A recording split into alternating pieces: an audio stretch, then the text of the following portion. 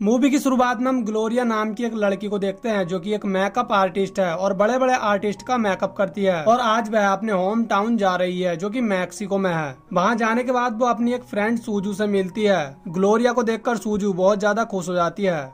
सूजू एक कंपटीशन में भाग लेना चाहती है, जिसका नाम मिसबाला कंपटीशन है, क्योंकि ग्लोरिया एक मेकअप आर्टिस्ट है, इसीलिए सूजू का मेकअप भी वही करेगी। इसके बाद ये दोनों एक पार्टी में जाते हैं, जहाँ सूजू ग्लोरिया को सुसैडो नाम के एक आदमी से मिलवाती है। सुसैडो ग्लोरिया पर अपनी गंदी नज़र डालने लगता है, और ये सब ग्लोरिया को बिल्कुल पसंद नहीं आता, इसीलिए वह बाहर आ जाती है और एक बाथरूम में चली जाती है। तभी वहाँ पर कुछ गुंडे खिड़की तोड़कर अंदर आ जाते हैं, जो कि यहाँ एक पुलिस चीफ को मारने के लिए आए थे, और वो ग्लोरिया को धमकी देते हैं। कि अगर उसने थोड़ी सी भी आवाज़ करी तो वो उसे मार देंगे। उस गैंग के लीडर का नाम लीनो होता है और वो जल्द से जल्द ग्लोरिया को वहाँ से निकल जाने के लिए कहता है, जिसके बाद ग्लोरिया सूजू को ढूँढने के लिए जाती है। लेकिन तभी लीनो उस पार्टी के सभी लोगों पर गोलियाँ चलाने लगता है। ये देख सभी लोग वहाँ से भागने लगते हैं और उनकी फायरिंग से कुछ लोग बुरी तरह से जख्मी हो जाते हैं। ग्लोरिया भी बाहर आ जाती है, लेकिन अभी तक उसकी दोस्त सूजू उसे नहीं मिली थी।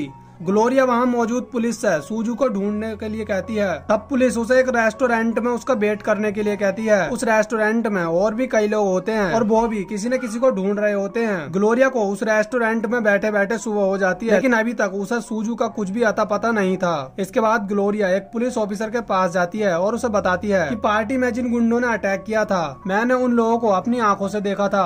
अगर तुम सूजू को ढूँढने में मेरी हेल्प करोगे तो मैं उन्हें पकड़वाने में तुम्हारी हेल्प कर सकती हूँ। तब वो पुलिस ऑफिसर भी उसकी बात मान लेता है। और उसे अपने साथ पुलिस स्टेशन ले जाने लगता है। लेकिन तभी ग्लोरिया को पता चलता है कि वो पुलिस ऑफिसर भी उन्हीं गुंडों से मिला हुआ है और वो लोग ग्लोरिया को मारने के लिए उसकी ओर बढ़ने लगते हैं। हालाँकि ग्लोरिया उनसे बचने के लिए भागने लगती है, लेकिन वो लोग किसी तरह उसे पकड़ लेते हैं और अपने लीडर लीनो के पास ले जाते हैं। वहाँ ग्लोरिया लीनो से कहती है की मेरा तुमसे कोई लेना देना नहीं है, बल्कि मैं तो अपनी एक फ्रेंड सूजू को ढूंढ रही हूँ, जो की कुछ टाइम से गायब है। तब लीनो उससे कहता है की वो सूजू को ढूँढने में उसकी हेल्प करेगा, लेकिन बदले में उसे भी लीनो के काम में उसकी हेल्प करनी होगी। और अगर वो उसकी बात नहीं मानती है तो लीनो उसे मार देगा। तब मजबूर ग्लोरिया लीनो की बात मान लेती है, जिसके बाद वो उसे एक गाड़ी को एक बिल्डिंग के पास खड़ी करने के लिए कहता है। तब ग्लोरिया उस कार को बिल्डिंग के पास खड़ा कर देती है और लीनो के पास आ जाती है। लीनो ने उस गाड़ी में बॉम्ब लगाए हुए थे, जिससे वो उस गाड़ी के साथ साथ उस बिल्डिंग को भी ब्लास्ट करके नष्ट कर देता है। ये देखकर ग्लोरिया बहुत ज़्यादा घबरा जाती है, क्योंकि उसने लोगों को मारने में लीनो की हेल्प की है। इसके बाद लीनो अपने एक साथी को सूजू को ढूँढने के लिए कहता है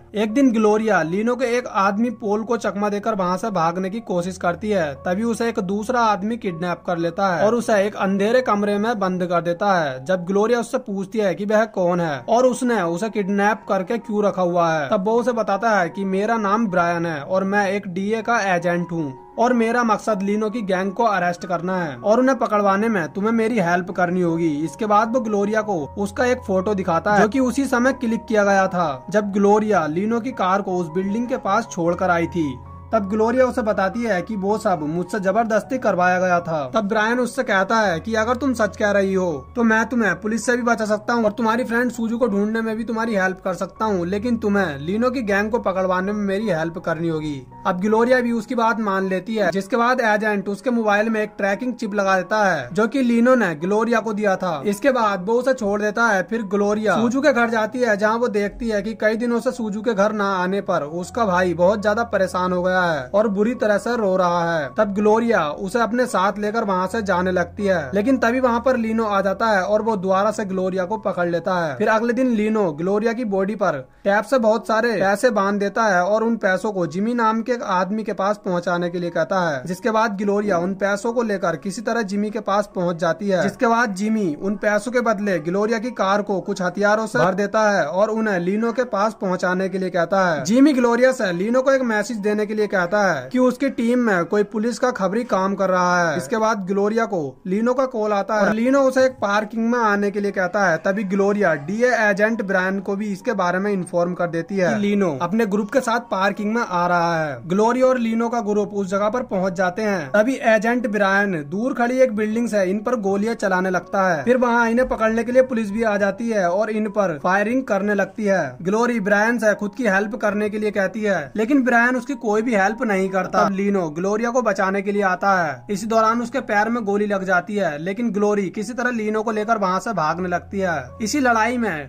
डीए के एजेंट ब्रायन को गोली लगने से उसकी मौत हो जाती है। फिर ग्लोरी और लीनो अपने बाकी लोगों के साथ वहाँ से भाग जाते हैं। पोलो को सकता कि उनकी टीम में कोई पुलिस का खबरी है और उसका पता लगाने के लिए पोल सब लोगों से उनके फ़ोन माँगता है। ग्लोरी भी अपना फ़ोन उसे दे देती है, लेकिन जैसे ही पोल की नज़र हटती है, तभी ग्लोरी अपने फ़ोन की ट्रैकिंग चिप को एक दूसरे फ़ोन में फिट कर देती है, जिससे पोल को लगे कि खबरी कोई और है। लेकिन जिस फ़ोन में ग्लोरी ने उस चिप को फिट किया था, वो फ़ोन ईजा वेला का होता है और ईजा वेला को इन्फॉर्मर समझकर लीनो उसे मार देता है। लेकिन ईजा वेला बेकसूर थी और उसके मरने से ग्लोरी को बहुत ज़्यादा दुख होता है। इसीलिए वो लीनो पर गुस्सा होने लगती है। अभी लीनो उसे एक वीडियो दिखाता है।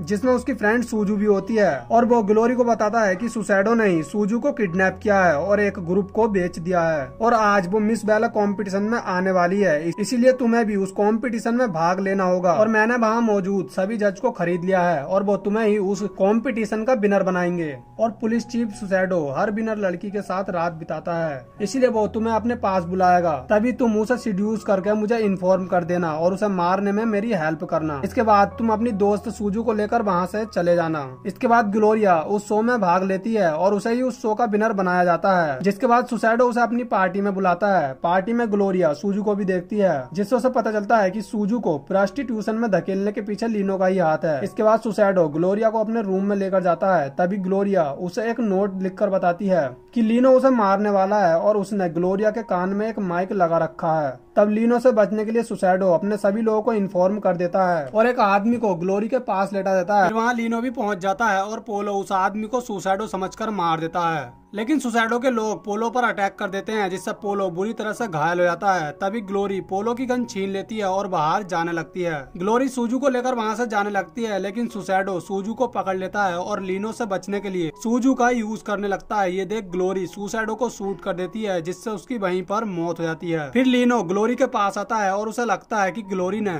सुसाइडो को इसीलिए मारा है क्योंकि वो लीनो के साथ है और ये देख लीनो ग्लोरी से बहुत ज़्यादा खुश हो जाता है। लेकिन ग्लोरी ने सुसाइडो को इसीलिए मारा था क्योंकि वो सूजू की जान बचाना चाहती थी। यहाँ ग्लोरी लीनो से ये भी कहती है कि मुझे सच पता चल चुका है कि सूजू को प्रोस्टिट्यूशन में तुम्ही ने डाला था। तब लीनो उसे समझाने की कोशिश करता है। वो ग्लोरी को सूट करने वाला होता है, तभी ग्लोरी उल्टा उसे ही सूट कर देती है और उसे मार देती है। इसके बाद वहाँ पुलिस आती है और ग्लोरी को अरेस्ट कर लेती है। लेकिन ग्लोरी बेकसूर थी और उसे वो सब मजबूरी में करना पड़ा था, इसीलिए पुलिस उसे छोड़ देती है। फिर सूजू भी अपने घर वापस चली जाती है और उसे देखकर उसका भाई बहुत ज़्यादा खुश हो जाता है। और अब ग्लोरी को भी किसी से कोई खतरा नहीं था और इसी के साथ ये मूवी यहीं पर एंड हो जाती है।